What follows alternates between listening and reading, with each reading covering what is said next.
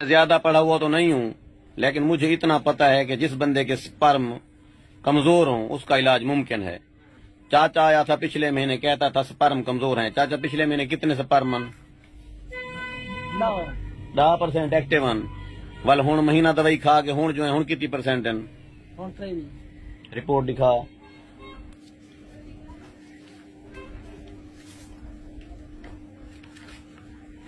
मेरे को पढ़ना नहीं आंदा आप पढ़ाए मार का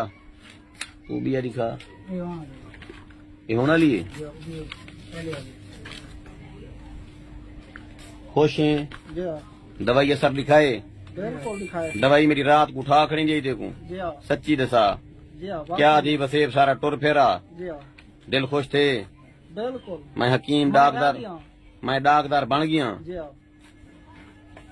शरीको तुसा मेरे राजी नहीं थी मना ना थी वो मेरी सिहत केड़ा सर पौधा पे इहो जे बुज़ुर्ग राज़ीन इको भेजे हाजी फिदा हुसैन ने हाजी फिदा हुसैन किथे रहंदे सऊदी सऊदी अरब दे विचू भेजे सी जमूम जमूम उको एक छोटी जी बीमारी दवाई फक्की भेजियम थी गई थी वाल जो आया पूरा भाणा मेरे गाल गात ली गई मंझी भेडा बकरियाँ टोका मशीन पानी वाला पंप तक